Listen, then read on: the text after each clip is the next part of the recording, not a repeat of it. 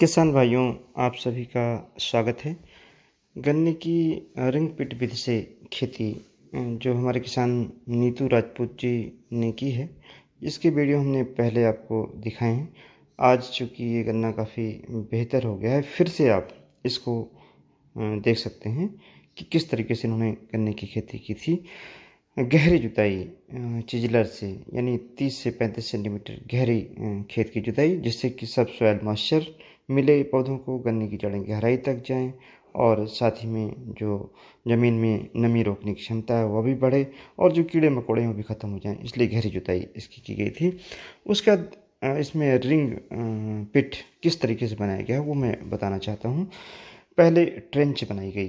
कितनी दूरी पर? लाइन से लाइन की दूरी पाँच फिट रखी गई। फिर उस ट्रेंच में साढ़े तीन फिट की दूरी पर गड्ढे बनाए गए। और इन गड्ढों की जो गहराई थी, उसको तीस सेंटीमीटर रखा गया। ट्रेंच की गहराई भी लगभग तीस सेंटीमीटर रहती है, लेकिन थोड़ी सी कम रहती है। और जो गड्ढों की चौड़ाई थी, यानी जो उनका डायमीटर था, ब्यास था, वो साठ सेंटीमीटर रखा गया। एक जो गड्ढा था, उसमें नौ सिंगल बड यानी एक आँख के गन्ने के स्वस्थ टुकड़े, जो गन्ने का ऊपरी भाग होता है, उससे काट करके फिर समान दूरी पर डाला गया था। जो बेसल डोज फर्टिलाइज़र का था, एक एकड़ में चार बैग सिंगल सुपरफास्फेट, एक बैग म्यूरेट पोटास और एक बैग, यानी पचास किलोग्राम यूरिया, साथ में दस से बारह किलोग्राम जिंक और इसके साथ साथ में फल्विक एसिड और ह्यूमिक एसिड भी आप डाल सकते हैं। गन्ने के बीज का शोधन बहुत ज़रूरी होता है। वह शोधन कैसे किया गया? 200 ग्राम बेबिस्टीन 100 लीटर पानी मिला करके एक किलोग्राम गन्ने के बीज का शोधन किया गया, जिससे कि गन्ने में दीमक ना लगने पाए वाइट क्रप ना लगने पाए, ताकि उसकी जब बड स्प्राउट हो ना कटने पाए और जो हमारी जड़ें हैं वह भी ना कटने पाए।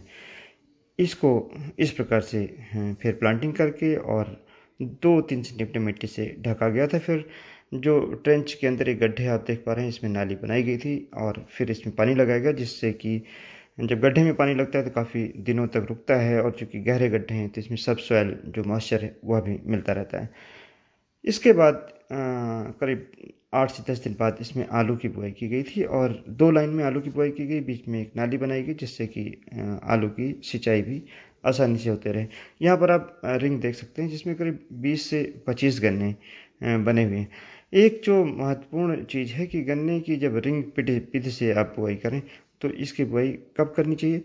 सितंबर में, अक्टूबर में कर लें। जैसे कि टिलरिंग के लिए, जमाव के लिए, गन्ने की ग्रोथ के लिए ज़्यादा टाइम मिले और अच्छा गन्ना हो। आलू आप इस तरीके से देख सकते हैं, आलू की बुआई करके और बीच में नाली बना करके उसकी सिंचाई एक तरफ़ से की गई। जब भी पानी इसमें आलू के लिए लगाया जाता था तो इतना लगाया जाता था कि जो रिज है केवल आधी दूरी तक पानी लगे और आधी अपने आप जो हमारी कैपिटल रिएक्शन है उससे मॉइस्चर ऊपर तक पहुँच जाए जिससे आलू का अच्छा उत्पादन हो सके। किसान भाइयों, जो पहले रिंग पिट विद से आईएसआर ने गन्ने की खेती को एक तरीके से बढ़ावा दिया था, उन्होंने कहा कि एक गड्ढे में पचास गन्ने के टुकड़े डालेंगे और पचास से उसकी लागत बहुत बढ़ जाती थी, ओवर क्राउडिंग हो जाती थी। बाद में टेरस होते थे उनको निकालना पड़ता था, जिससे कास्ट ऑफ़ कल्टीवेशन भी बढ़ता था।